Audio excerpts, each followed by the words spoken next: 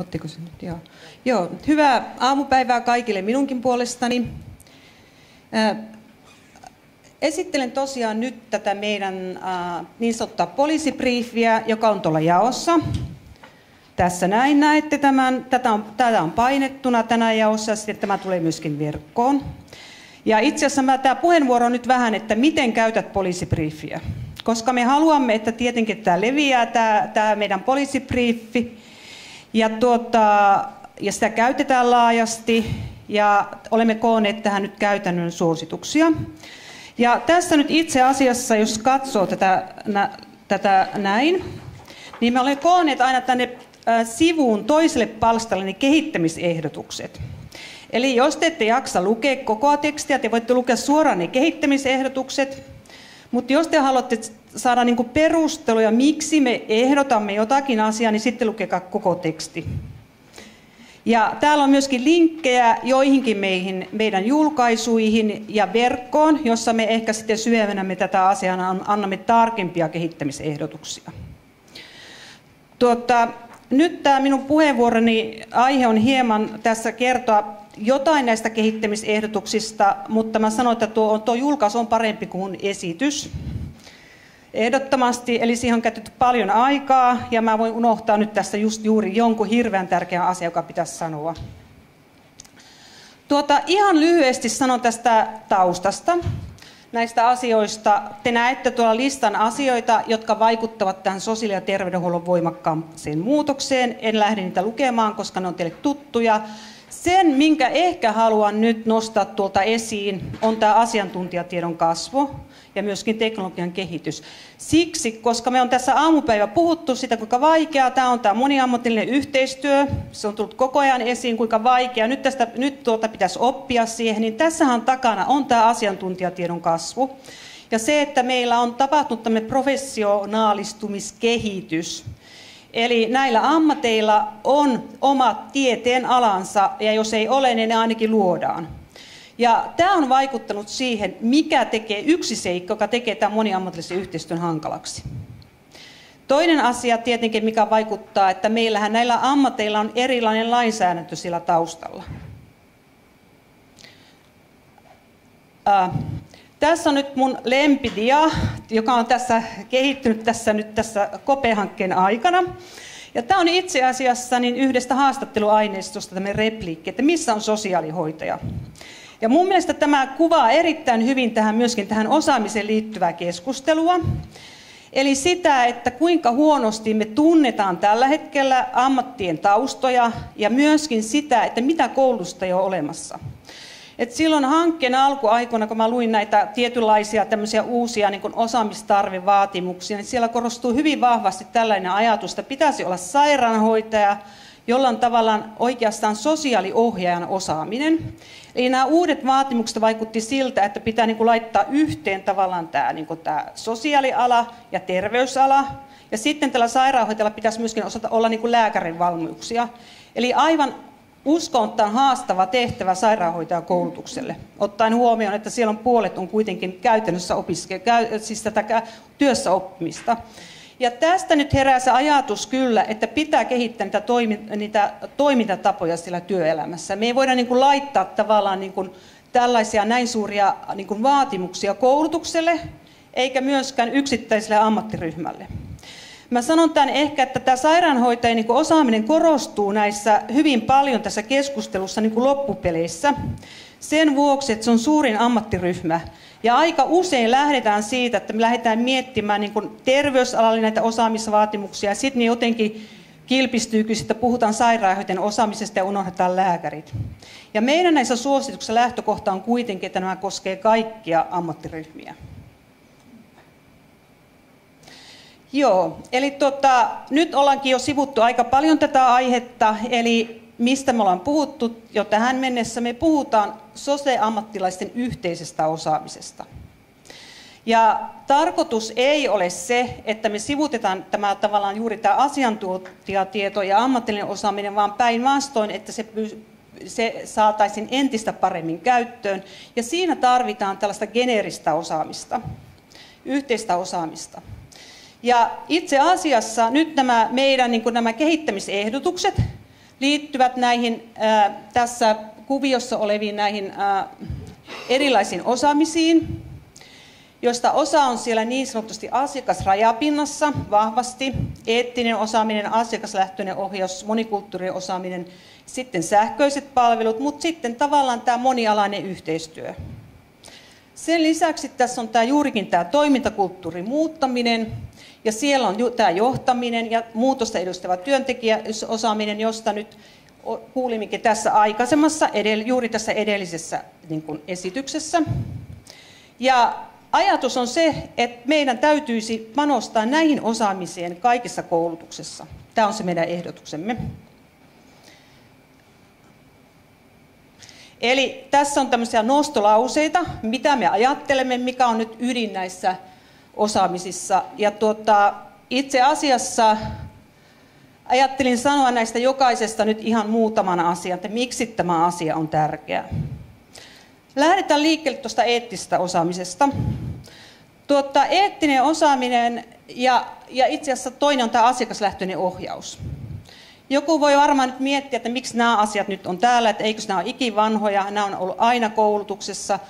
Ehkä se pointti ei nyt ole se, että ne on ollut sillä koulutuksessa, vaan se, että nämä pitää tulkita silloin uudelleen, kun tämä ammat, toimintaympäristö muuttuu. Ja itse asiassa, äh, otan tuonne vielä uudelleen, tämä asiakaslähtöinen ohjaus ja eettinen osaaminen, nämä on oikeastaan sote-ammattilaisten sitä ammatillisen identiteetin perustaa hyvin vahvasti. Ensinnäkin tänne alalle hakeutuu ihmiset, jotka haluavat auttaa muita, tehdä hyvää muille, eli siellä on vahva tämmöinen niin sanottu prososiaalinen motivaatio. Ja toinen asia on se, sitten on tämä, ehkä tämä vuorovaikutus. Eli kun ollaan tekemisissä terveyteen, erityisesti terveyteen liittyvien asioiden kanssa, ne on aika herkkiä asioita. Ja ei ole niin kuin saman tekevää, miten niistä asioista keskustellaan potilaiden ja asiakkaiden kanssa. Ja itse asiassa meidän tutkimustulosten mukaan näissä kahdessa on suuria osaamisvajeita, tai sanotaanko, että vaihtelevaa osaamista.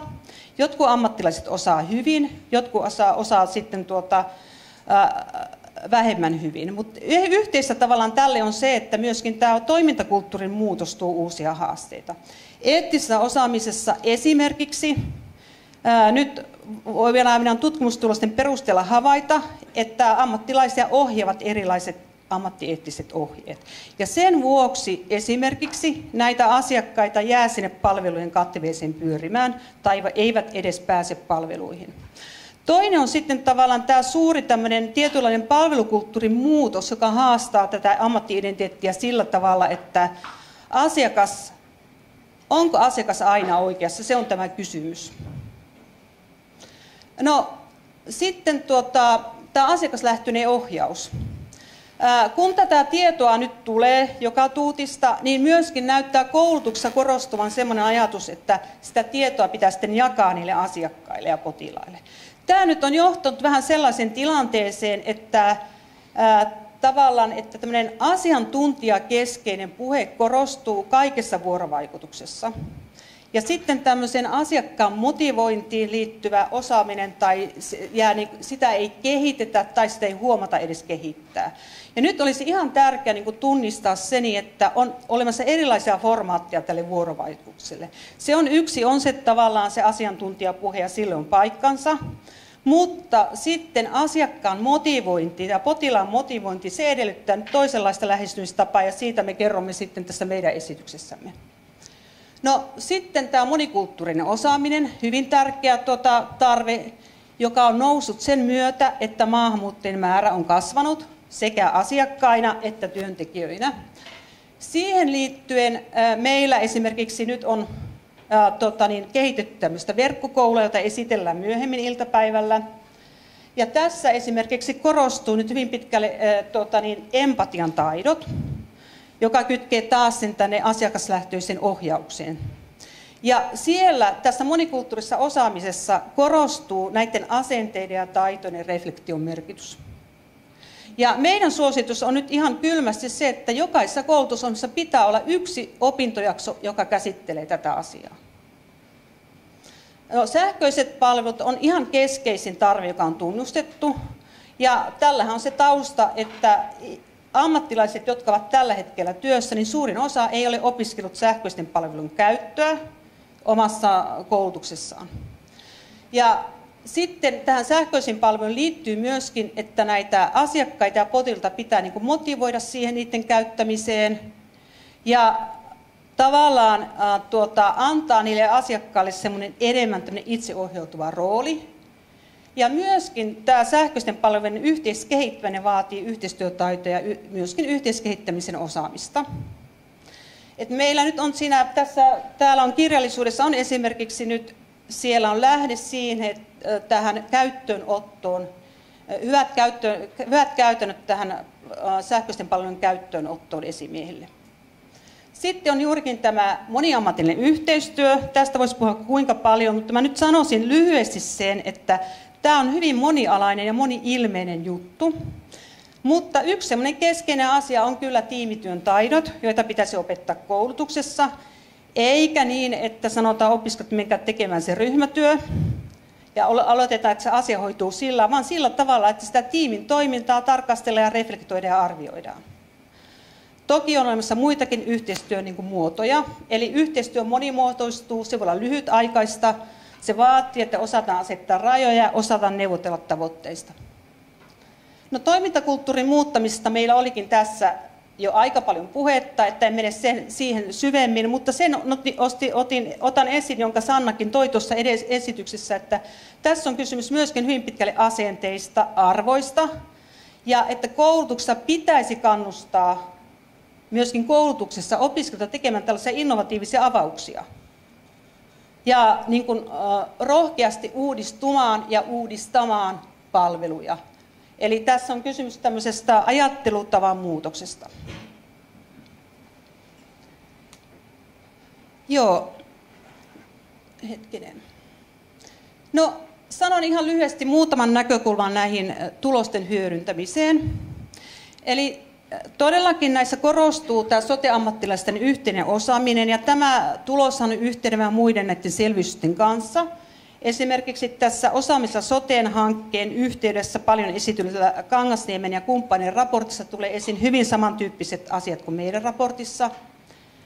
Ja sitten tämä ehkä, jonka mä, jota haluaisin painottaa, että nämä asiat eivät ole uusia opetussuunnitelmissa, mutta ehkä se pointti on siinä se, että ne ymmärretään hyvin pitkälle tämmöisenä apukompetensseina, jotka opitaan siinä niin kuin sivussa ja sillä tavalla, että on kirjoitetaan yksi tavoite sinne muiden joukkoon. Tämä ei niin kuin toimi sen vuoksi, että nämä tai, nämä on, näihin sisältyy aika paljon taitoja, ja sitten tämmöistä reflektiivistä, äh, reflektiivisen niin kuin, ajattelun kehittämistä, ja tämä ei niin kuin, mene sillä tavalla vain, että tuota, se on tämmöinen niin sanottu läpäisyperiaate koulutuksessa.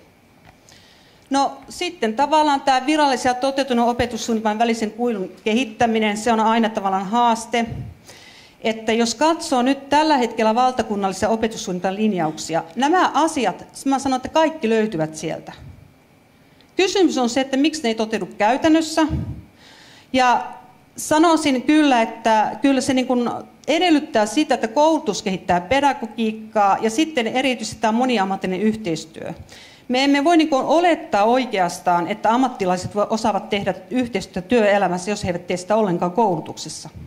Mä tiedän, että tämä on aika haastava juttu sen vuoksi, että varmaan kaikki on ihan samaa mieltä näistä tavoitteista, mutta käytännössä, kun nämä pitää muuntaa käytännön toiminnaksi siinä, kun keskustellaan resursseista, niin se onkin aivan, aivan toinen asia. Sitten nämä erilaiset ammatilliset kulttuurit, nämähän on myöskin vallalla koulutuksessa. Siellä on eri alojen opettajia, joilla on erilaisia näkemyksiä, ää, omia, omia niin kuin, ää, ehkä reviirejä, ää, ja tuo, jotka niin kuin estää sitä yhteistyötä. Ja koulutuksessa myöskin erilaiset rakenteet. No, Aika oleellista on myöskin tietenkin tämä vastuuneko koulutuksen ja työelämän välillä, ja Timo tässä viittasikin ja sanoi, että on huolissaan tästä työssä oppimisesta, niin kyllä tähän, niin kuin tähän työharjoittelun tarjotaan, niin kuin pitää antaa sellaisia eväitä, että se teoreettinen tieto tulee hyödynnettyä sillä käytännössä. Eli on ihan turha mennä oppimaan vanho, vanhentuneita toimintatapoja, niitä pitää pystyä niin kuin tarkastelemaan niin kuin teoreettisen tiedon valossa ja reflektoimaan niin sanotusti hienosti. Eli siinä mielessä niin tuota, niin tämä edellyttää yhteistyötä. Mä olen sitä mieltä, että me ei, ei, se, se on tavallaan tämmöinen tietynlainen dialogi, että joskus koulutuksessa on parempia ideoita, joskus on työelämässä. Ei ole niin, että koulutuksen kannattaa mennä katsoa työelämästä, miten toimitaan, eikä ehkä niinkään, että sitten tuota, työelämä seuraa, mitä koulutuksessa sanotaan. Me, me emme voi tietää, siis, se, siis, että, siis se uusi osaaminen syntyy vain tavallaan sitä y- yhteisesti kehittämällä. Joo, kiitoksia. En sano tästä enempää.